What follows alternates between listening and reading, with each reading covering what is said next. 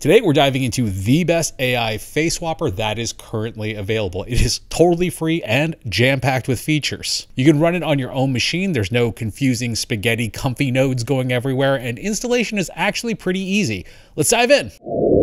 So, Face Fusion 3 has arrived, and it has really upped the game. Not only can you do image and video face swapping, but they've also integrated things like Advanced Live Portrait, which we've covered on the channel, we now have aging controls, so you can either go, you know, younger or older. And I think the case of most of us, we'd rather aim for a younger slider. We can even do lip syncing and live webcam face swapping, although I am going to put a little bit of an asterisk on that last one. We'll talk about that in a little bit. To get started with installing Face Fusion 3, we're going to be utilizing Pinokio. Now, I know a few of you out there have expressed some wariness about installing Pinokio. Please do stay tuned. I have something coming up that I think will put your mind at ease. If you aren't aware of what Pinokio is, it basically acts as a virtual computer downloading, you know, the files from GitHub repositories, allowing you to use AI tools locally without having to deal with a bunch of headaches in terms of installation. Obviously, to get started, we just go over to pinokio.computer and hit the download button. The great thing about Pinokio is that you can download it in Windows flavor, Mac flavor, or Linux flavor. So this is the part where I think that people sometimes get a little bit, you know, sketchy is that on the Windows side, you know, obviously you download it, you unzip it, and then during the install process, you'll be hit with the Windows, you know, protected your PC, and you have to hit the run anyway button. And on the Mac side, you download the DMG as normal, move over the Pinokio application to the applications folder, but then you have to open a patch command that then opens up terminal and does scary terminal stuff. Linux people can just download it with no problems. I totally understand that that might feel a little sketchy. So I reached out to Pinokio's developer to get some clarification on why this is. It essentially comes down to the fact that on the Microsoft and the Apple side, as developer, you need to, you know, sign each app. Basically, the only reason this pop-up shows up is because I refused to join the Microsoft walled garden and wanted to make sure the app itself stands on its own, since I believe going forward, all of these platform providers will increasingly try to lock their users into their own platform, which Microsoft has proven to be moving forward to with their recent announcements. He did go on to say, but I do know this is annoying, so at some point planning to cave in and start signing apps. So by default, people don't have to go through these inconveniences, but at the same time have the original option of directly downloading from GitHub, like how it works today, even if Microsoft and Apple tries to censor AI usage. So there you have it, about as an official explanation as you can possibly get from a community-driven project. So all of that out of the way, let's get to the actual, you know, meat and potatoes and fun of this whole thing. Um, once you fire Pinokio up, you should have a screen that looks like this. You'll have a list of things that you have installed here. Uh, what you'll want to do, if it's not already there, is head up to the Discover tab here,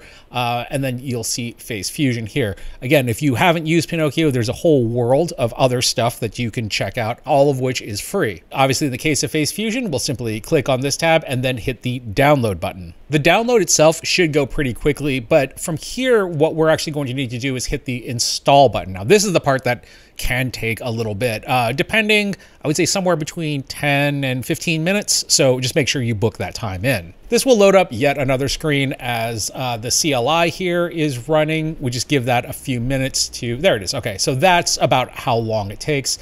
Um, and then from there, all we have to do is hit the UI default button. We're done, I promise. So we are now in Face Fusion 3.0. I'm just gonna actually hit this button there so uh, we get a better view of it. So just to give you an idea of how this works, um, I'm going to take a clip from Beetlejuice, uh, and I'm going to pop that right here into the target area. I'm then going to take a photo of myself and drop it here in the source area. Uh, you can see it's already starting to generate. And there's my first frame. You can preview along the frames uh, by clicking along the timeline here. You'll see it'll update with my face as it goes along. And yes, that is terrifying.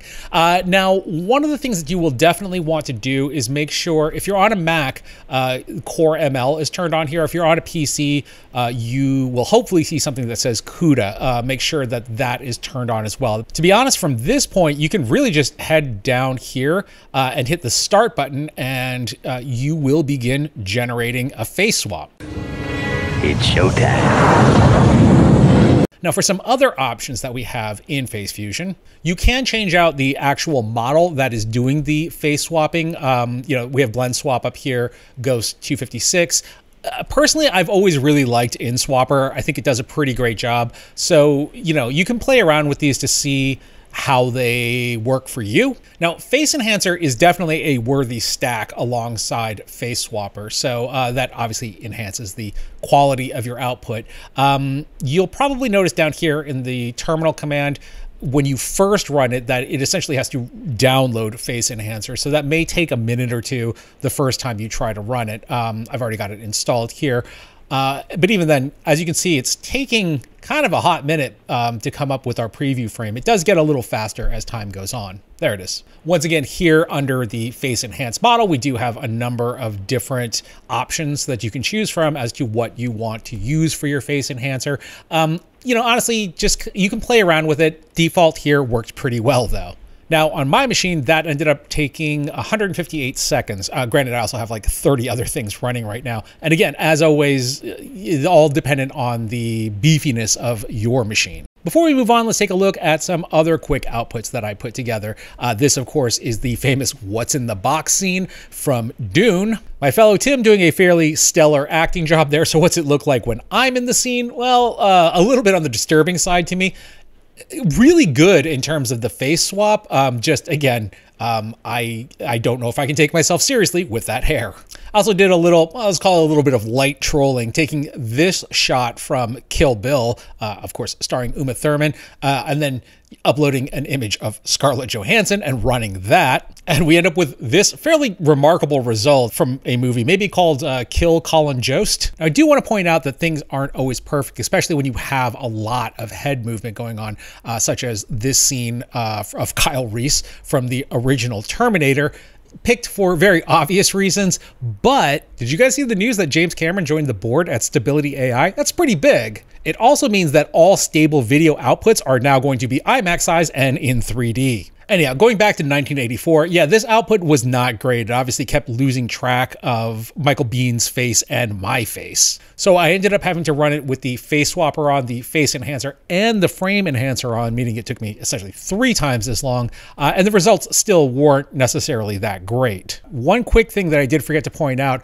uh, if you're noticing that your uh, preview image isn't picking up on your face swap, uh, do make sure that the face selection gender down here is turned to either male, female, or none. Uh, for example, if we hit female here, what you'll notice is that it won't pick up on Kyle Reese's face. There's a number of times that I forgot about that and I was just like, why isn't this working? But if we scrub over to Linda Hamilton appearing in the shot, uh, yes, we do end up in the darkest timeline. Now, if you're wondering how this all holds up when you're using AI generated characters, well, I mean, I was planning, of course, on using our girl, Daniela Van Den Donk, dressed as a pirate, but in kind of a twist and to turn things around a bit, uh, I thought it might be fun to take an AI generated output and use the actual Daniela Van Den Donk. So taking this Kling output of, well, she's supposed to be a pirate woman. She kind of actually comes off a little bit more like uh, a fantasy warrior, but whatever. So running both of them through Face Fusion 3, I present to you Dutch football player Daniela Van Den Donk dressed not as a pirate.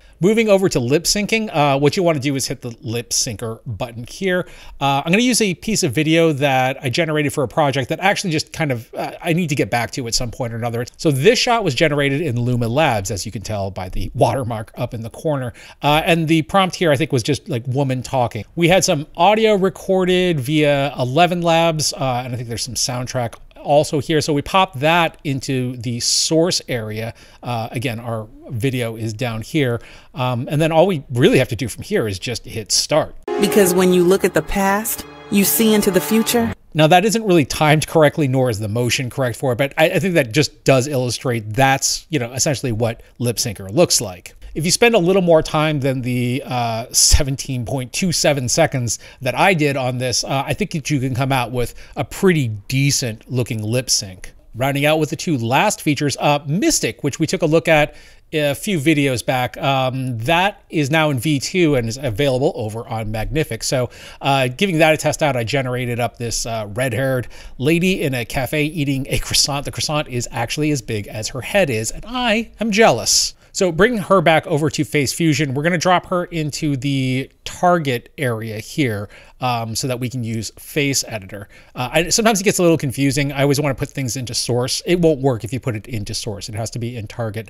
Uh, Face Editor is, I mean, well, it's basically Advanced Live Portrait, uh, which we also looked at a few videos ago. Um, we have, you know, all of our various controls, so let's kind of play around with some of them. So yeah, as you're playing around with it, I think that you can end up with some, you know, pretty good fine tuning results. I don't think that this is necessarily something where you're going to in paint completely different expressions or emotions onto your characters. Uh, this is more about just making things a little more correct in terms of like eye line, maybe bringing out a smile a little bit more, bringing out like a frown a little bit more. Finally, for the age modifier, and this is one that I'm, uh, to be honest, I'm still a little bit on the mid side, and it took me a little bit to figure out um, exactly how to work this. Um, so we have our face age selector down here, or face selector age down here. Um, and what you want to do is kind of aim for a relative age range that this person is in. So uh, I would say that she's probably somewhere between like 22 and uh, 31. Maybe she she looks really good for actually. Well, I don't know. Looking at her now, I'm gonna I'm gonna kick her up to 33. Take that AI redhead. Uh, okay, so um, from there we can take our age modifier direction. So because we've actually honed in that she's somewhere between 22 and 33, which is you know 11 years, um, we can start moving this. So let's take that. Let's let's age her up another 14 years and see what ends up happening. Yeah, see, that's what I mean. Not much. Um, okay, let's take her up to like 46. I don't know if this is in years. It can't, it can't, be. So maybe we're saying now she is 46 years old. Okay, yeah. So now she's you know starting to look 46. Uh, let's all right, let's just be really mean and crank her up to like 81 years old. So yeah, there you go, 81. Now she is really looking good for her age. And I guess ultimately that's the problem that I have with the age modifier is that sure, it modifies, you know, to a degree, but there's still a lot kind of lacking. I am sort of impressed at the fact that it actually does change the hair color somewhat. I guess that's just like Face Fusion's subtle way of letting us know like, hey, I know that she's dyeing her hair too. But moving her back to a negative 55, and I don't even know what these numbers mean anymore because if she's somewhere between 22 and 33 and we've taken her 55 years back i mean she's she's basically in a time travel movie but regardless um, yeah we do see that she definitely looks a lot younger now um, so yeah it, it works I just don't know how much use we really have for it. Now, as for the webcam feature, uh, so I was not having any luck there. So I'm going to hit stop here. Uh, and then to run the webcam, you would, you know, obviously come up and hit run webcam. And we're basically into what looks a lot like our previous UI, except, you know, obviously there's just webcam here. So if I hit start, hypothetically, my uh, webcam should kick on. Oh, yeah, that's super weird. Where am I looking? And just to make things extra weird, I'm going to take an image of me and drop it into the source here. Um, and then, yeah, if I hit start, I'm just, I just freeze. So uh, I'm not sure exactly what's going wrong here. It might have something to do with like NVIDIA GPUs versus uh, Mac M series machines. I don't know. Um, that said, I mean, there's plenty of other stuff to play with just in the core of Face Fusion 3. So um, I will definitely keep an eye on the webcam thing. If I figure out a way to get it working, I'll let you guys know. But all in all, yeah, that's a pretty fantastic suite of tools. And again, all for free. Plus, there's like tons of other stuff that you can discover in Pinokio. And look, I guess closing out, I just I feel like I do need to say this. Like this is very powerful technology. Do not be a jerk with it. Use it for fun. Use it for your AI films and images. Use it for your creativity. Do not use it for evil. Just just don't be evil. Until next time, I thank you for watching. My name is Tim.